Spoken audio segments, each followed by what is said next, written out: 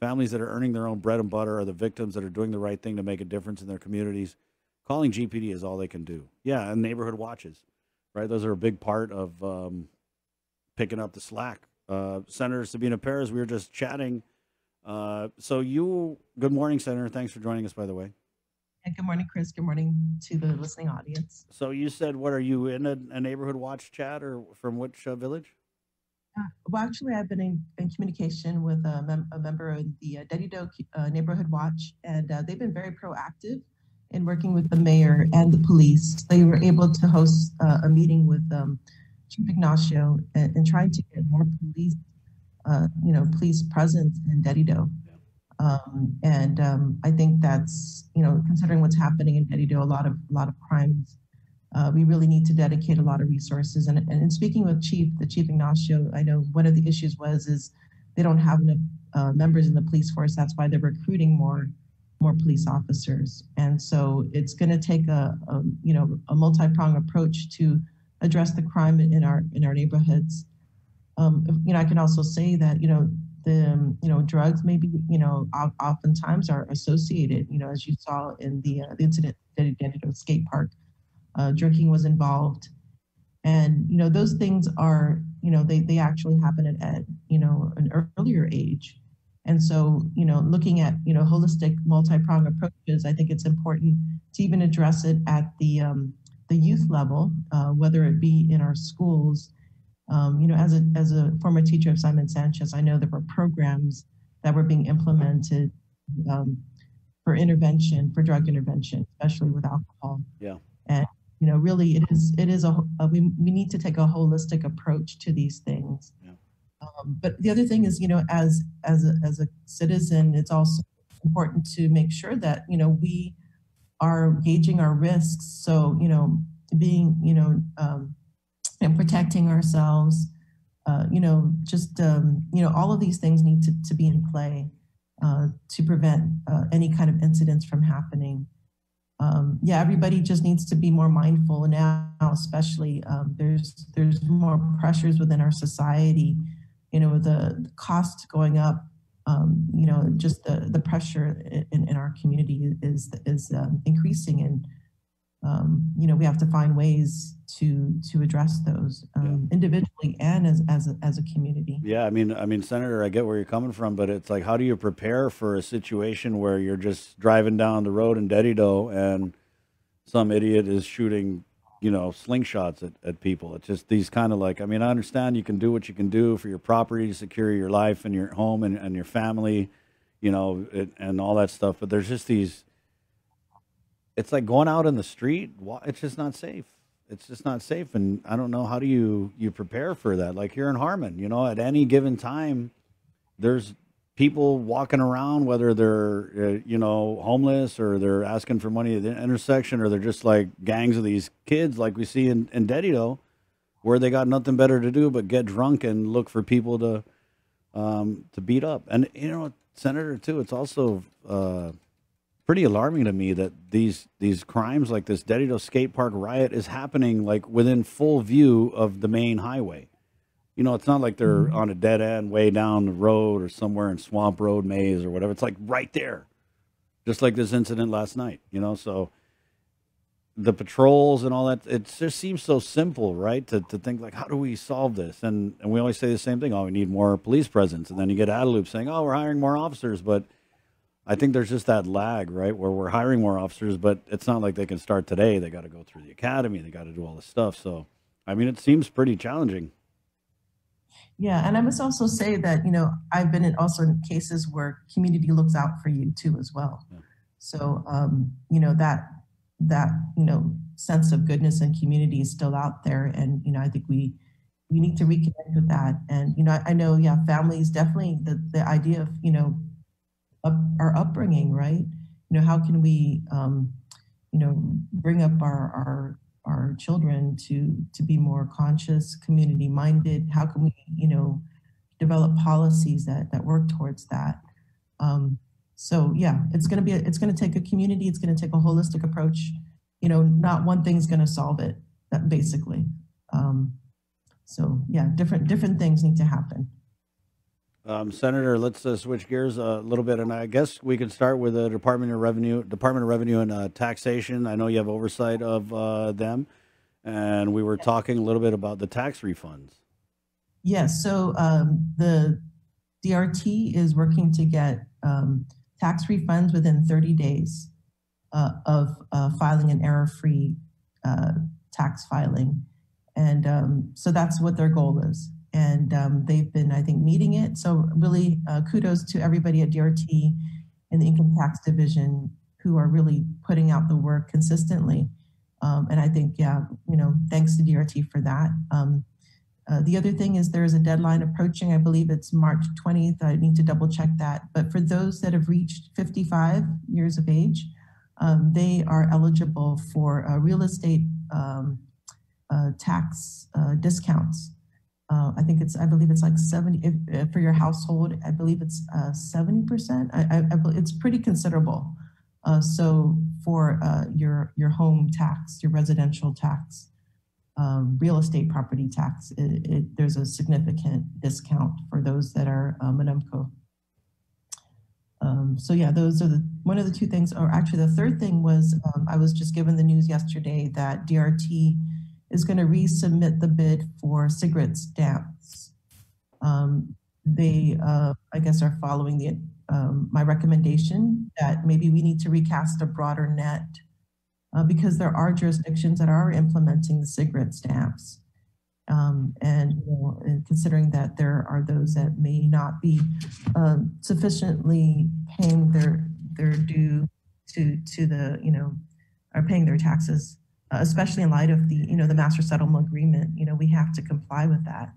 So um, so yeah, that that's so. So, that Senator, what does that mean to you guys? Like, if you're putting out another bid or RFP or whatever, and you're casting a wider net, does that mean that uh, it's going to be publicized in, in places outside of Guam?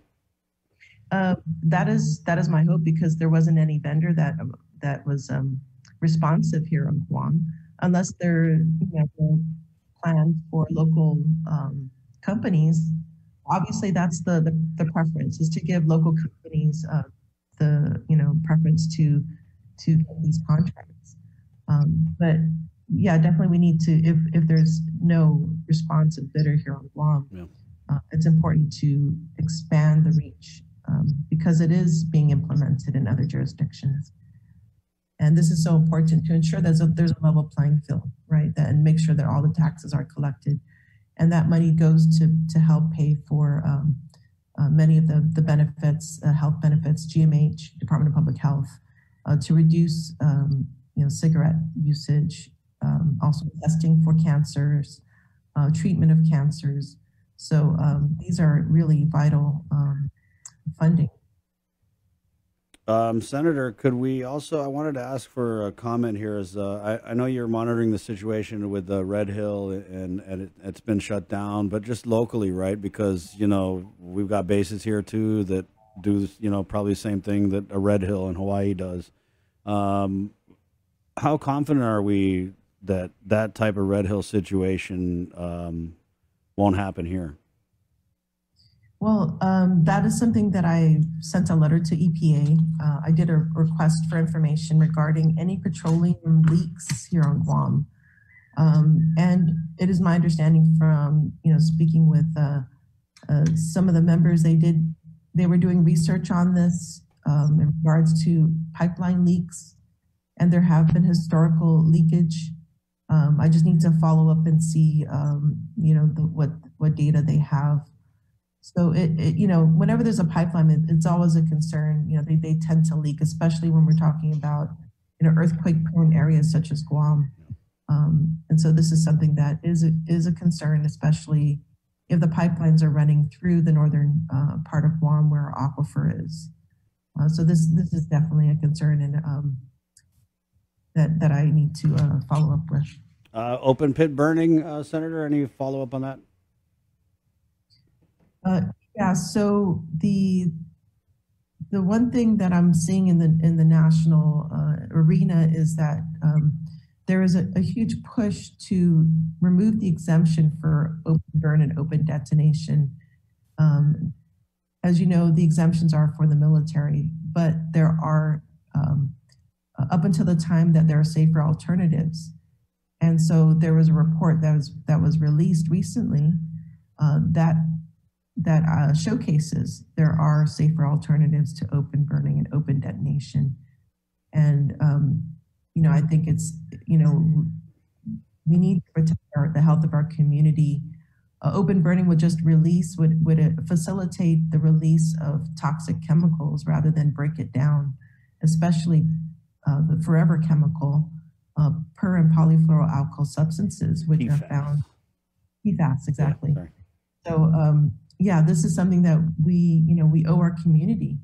Uh, and one of the the, the another thing is um, obviously the the carcinogenic chemicals, other carcinogenic uh, chemicals like uranium, um, other um, chemicals that cause harm such as lead, um, are also in, in the permit. So it's important that these are not um, released. This this permit has been in, in effect uh, or since has been operating since I believe in the 1980s. And so, you know, unwittingly, um, the community members have been exposed to these harmful chemicals. And cancer is a second leading cause of death in Guam. And um, so we really need to, um, you know, prevent these further releases from happening, especially if there are safer alternatives out there. Uh, Senator, you had a hearing on the paper bag uh, bill extension. Uh, were, there uh, was there testimony of people having issues with the plastic bag ban? Can we just kind of cover that? Yes, so uh, it looks like there was some confusion about uh, what is allowable in law. So the the basic thing that needs to be um, understood is that the disposable carry-out plastic bags are banned. Um, so what we you know to carry out your groceries from a store, those those are banned. Yeah. Um, and initially, the biodegradable ones were allowed. Um, but we learned that biodegradable, uh, there's no such thing as a biodegradable plastic bag. What happens is the bag just breaks down into microplastics, which then end up in our food chain, which includes us. Yeah. And uh, so I think it's really important to to continue that process, um, especially now plastics are becoming harder to send off uh, to other other areas for Yeah. recycling. Uh, because of the Basel Convention, uh, there are restrictions to shipping plastics for recycling. And um, we need to phase out the use of plastics uh, even more. I think uh, th- it's important that we phase it out. Um, you know, plastics is a byproduct of oil. It's one of the, the byproducts of oil. And, um, you know, this is uh, one of the externalization of the environmental cost of using oil. Um, not to mention that, um, yeah, it, it's just uh, we have a limited lab space. Uh, we can't continue to put in materials that are not going to break down. Senator, so are for just to clarify, because you said people are confused about what is allowed uh, in the law for restaurants and takeout. Are they still able to use the plastic bags or no? No. No, they're not. So nobody can Yeah. use plastic bags. Uh, not for yeah disposable carryout. They're Okay. they're completely banned. Got it. Uh, so, what were some of the issues that people uh, had with the plastic bag uh, ban? Were they just complaining about it, or Well, I think part of it there were exemptions. So, for instance, um, the when when you go to a grocery store, you put your your fruits and vegetables in a plastic bag. That's allowable. yeah? Um, you know, laundry, um, dry cleaning bags. That's allowable too. So that's there were some exemptions that are causing some sort of confusion. Yeah. Well, they must have had a good lobby. Uh, but why is why would we allow some plastics and not others if the thinking is that it's all going to the landfill? Yeah, I, you know, I, I agree that maybe there's, there should be a next step to thinking about what are the alternatives to that. Um, I think initially it was thought that protecting the product, so for instance, like meats, uh, meat products, you know, the idea that putting them in paper would just create uh, more of a problem and um, the product would not be protected. Mm, So that, and it could be a, a health issue too as well. right, right. So yeah. maybe in those cases, like where it's, um, it will Yeah, where your chicken juice, your raw chicken juice drips out of the package onto your apples. It happens all the time, Senator. Sucks. Right. Uh, Senator, while we're talking about plastics, I wanted to cue this video here. Um, I sent it to you last night. I don't know if you got a chance to, to look at it, but this is the Ipan East Side, And I don't know if it's just the time of year, but this has actually happened a couple, a few times over the last couple years. And I was talking with uh, um, a resident. Well, it was Dr. Ann Pobutsky of Public Health, but she was not wearing her public health hat. Um, and basically, what a lot of residents uh, think is happening is they think that some of these big ships are throwing their trash overboard, and then it's washing up on the east side and breaking up into just like millions upon millions of pieces. As you can see the video here, guys. And this is Ipan kind of behind the Jones Beach uh, area where you can see it's like shredded plastic bags and all kinds of just plastic containers. And this is not something that someone dumped on the beach because when I looked at the containers, when people look at them, these are plastics that are from uh, with the labeling as far away as Indonesia, even a lot of Chinese products. And so when I was talking with this resident uh, yesterday, they were saying that they think that these uh, longliners throw the bags over and they end up washing up over here um, on our side. But as you can see, it's, it's pretty crazy, um, Senator. Uh, is this something like wh- who? Where would the jurisdiction be with this? Is this something that we can address kind of uh, locally? Uh, because uh, uh, as you can see, it's very frustrating because it's not like someone went through the jungle and dumped. It's not your traditional illegal uh, dumping thing. And this has happened like a, a, few times. You talk to anybody on on the east side, I think even as far down as uh, Inalahan. Um, maybe it's because of the way the current is coming this time of year. Uh, it seems to happen a lot. Yeah, so this would probably be, you know, if it's happening in the open seas, it would be the United Nations. Mm.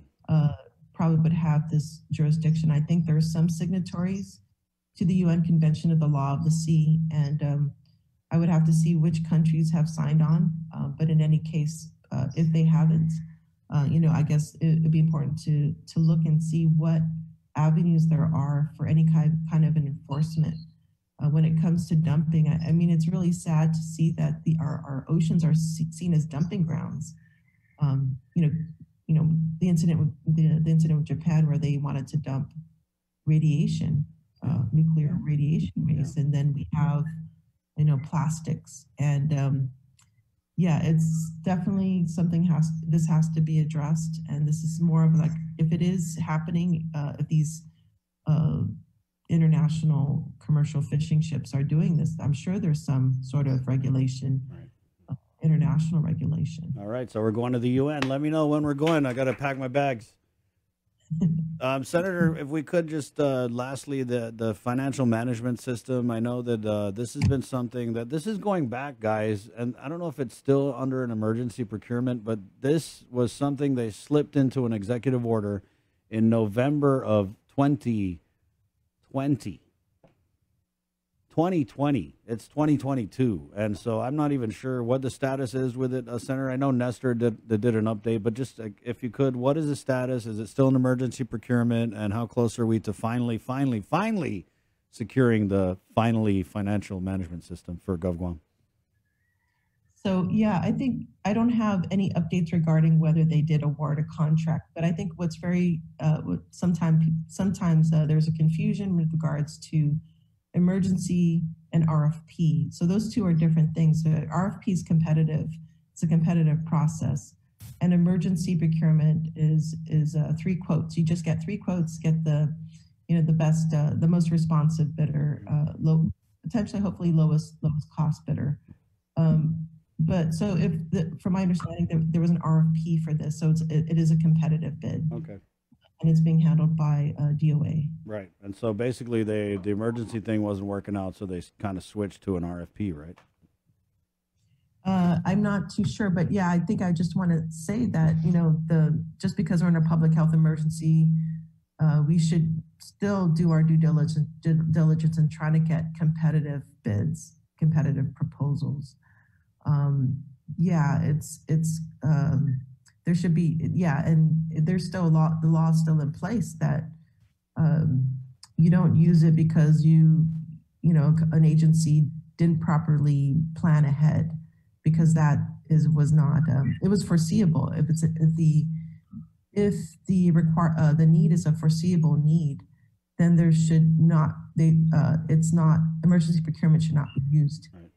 Need to go the law says that you uh, the agency needs to use competitive the competitive process. Man, if I had a dollar for every time you said it, said that during this pandemic, whew, I'd be retired. At least you're Yeah. consistent, Senator. And I'm still seeing that. Um, you know, I think with the um, the bag baggage from the airport, uh, if I'm not if not mistaken, it was an emergency procurement, and that's something that's a foreseeable Right. uh, need. It should have been done with a competitive through a competitive process. Uh, Contractors Licensing Board, uh, since you, you mentioned that, uh, did you have a comment on the recent developments, uh, where they're now looking at everything? I mean, the guy's name was Buddy, right? How did we not like be suspicious of a guy in a position to make these calls? Then his name is Buddy. You know what I mean? Hey, Buddy! That should have been like eyes on this guy the whole time. Uh, but yeah, Senator, your comment. Oh, um, yeah, the, I think what needs to happen is there needs to be administrative change where it has to be very clear in the specifications as what is needed to be responsible, a responsible bidder, you know, what type of certifications, uh, licenses. I think that would definitely go a long way to preventing any of this from happening in regards to, uh, you know, whether a contractor needs to have a contractor's license versus a business license, right? Um, so that the agency really has to take the lead on that one. Right on, Senator. Thank you. Uh, anything in closing? Um, I just want to um, also actually I want to make uh, congratulate. You know, uh, this month is Career Technical Education Month, and I just want to give a shout out or kudos to the um, the chapter in Guam. Uh, you know, Guam Guam Contractor uh, Trades Academy. Uh, they were able to get a, um, grant to pay for solar solar panels for their parking lot, Mm. and um, and uh, so I just want to, you know, congratulate um, Bert Johnson and his team um, for for um, you know promoting, uh, you know, renewable energy. Plus, also uh, what what's tied into that is they're going to increase um, uh, apprenticeships for solar panel um, engineers and and um, um, tradesmen. So uh, yeah, so I just want to congratulate them. But um, also, yeah, thank you for being for having me on the show. Yeah, oh, today. Senator, because you mentioned Bert Johnson, and that ma- made me think of Guam Waterworks Authority. And I know that you had a bill. I want to say it was like, was it two six six? And this is a bill where uh, if there's a water leak on the private property side, um, uh, so what it would enable GWA to go in and, fix that. But can we? Can you tell me about that? Yeah, so there are many cases, many constituents that I've heard that um, they uh, are accruing a huge uh, water bill because of a water leak, and GWA um, basically um, does not, you know, is unable to step in and help repair these water leaks. And so I think it's really important to to kind of bridge that gap, um, especially with our resource. You know, we need to protect our water resource as well as help the the customer uh, from getting uh, amassing these huge unmanageable bills. Right. If something can be done about it at the at the very start, um, and you know, it's you know, I hear customers uh, what they go through in having to kind of resolve the issue, and GWA cannot step in and help them with that. And um, also, I think it's really important. Um, uh, GWA is also in the process of developing a customer assistance program for um, low and fis- fixed income uh, ratepayer. I And think so is that-. Is that who would be eligible for for this uh, in this bill, Senator? Because I I feel like if uh, you know like a private multi-million dollar business has a leak on their side, it's not like GWA would go in and fix that. You're talking about uh, people who are um, income challenged, right? When they get a leak, and I've actually had this happen. So, uh, is the thinking also that GWA system is so antiquated that you know a lot of the leaks on the private side are just because of old pipes and all that stuff? I mean, it's kind of a chain reaction, right? Well, I think, you know, generally the, the infrastructure is aging overall, whether it's on the public or private side. And, you know, when we have a leak on either side, it, it's, it's going to ultimately affect, um, you know, it's going to affect the rates, um, you know, because eventually, you know, if a customer can't for this, um, it's going to become non-revenue water, from my thinking.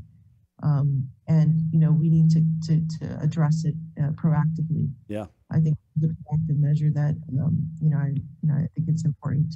It would help overall, you know, it's, I think it's a win-win situation. um, for everyone involved. Yeah, wow, that's crazy. I mean, if you open up the water meter and it's spinning like crazy, and there's probably a leak on your side. I mean, I've I've seen these leaks rack up like you know hundreds of dollars a day. So, good idea. Yeah, and it would it would help, also help reduce rates, I think, too, because you know water is so it costs a lot of uh, money, uh, or it takes a lot of energy to pump water from one place to another, and energy is one of the higher costs on Guam. Oh yeah if we can cut out the leaks, um, that would help with the it would help with the rates, I think, overall. Hey, do you think that so this program in Salopi, right? The governor came out. Remember, she came out and announced that they're going to do three hundred bucks, hundred dollars a month, uh, and I think it's going to it's supposed to kick off next week. But do you think, given the the more recent increases in the price of gas, that we should re-examine that amount and maybe increase it, or just what are your thoughts on that?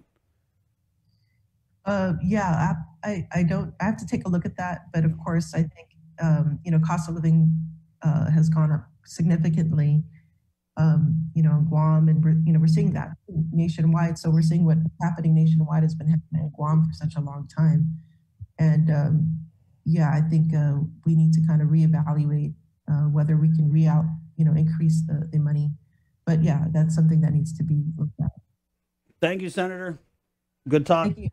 Yeah, thank you. Right on. Senator Sabina Perez, uh, good morning, 738.